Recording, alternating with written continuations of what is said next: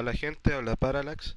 Eh, bueno, este es un video que estoy eh, realizando es solamente de agradecimiento a todos ustedes por todos los mensajes, por todos los comentarios que han puesto eh, y bueno, y por los suscriptores también. O sea, acá todos han participado, me han ayudado muchas cosas. he seguido adelante con este tema de los bugs y glitch solamente para mostrarlos eh, los conocimientos que tengo sobre el tema de Mortal Kombat. Eh, no es tan solo juego, yo eh, para mí este área es mucho, no es mucho, sino es poco explotado. Entonces yo me dediqué a explotar este juego tanto en arcade como en consola. En consola mis primeros bugs fueron en SNES y bueno, traté de hacerlo en arcade, algunos resultaron, otros no.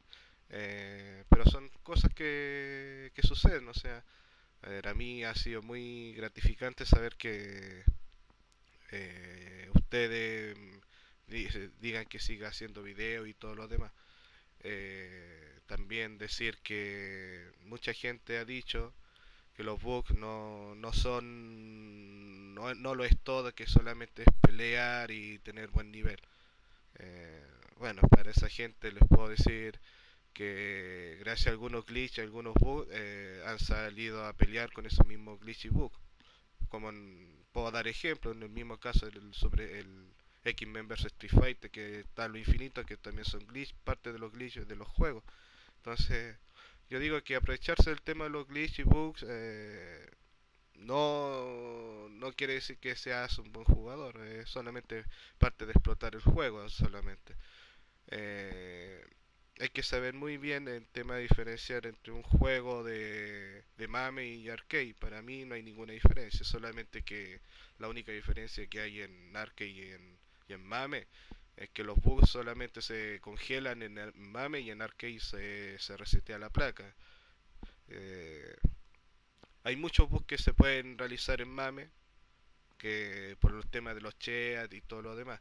Eh, puedo decir que el 80% de los videos que yo he hecho ha sido sin chat, eh, ha sido sin truco y, y solamente decir que los videos que he realizado de Jay en Mortal Kombat 2 en, eh, han sido todo de la forma legal, no hubo compromiso de chat en esos videos.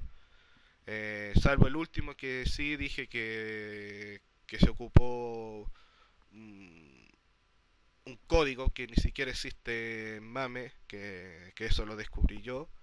Eh, se puede decir que también parte de descubrir otras cosas que ni siquiera están en los chats, eh, también en mi área. Entonces, eh, no hay código para los trucos que estoy haciendo.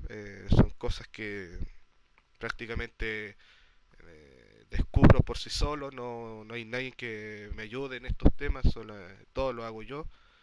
Eh, he aportado con temas de Mortal Kombat 2 con los hacks de los personajes, eh, testeándolos. No, no sé realizar códigos como Avistus o otras personas que, que realizan esos códigos de truco.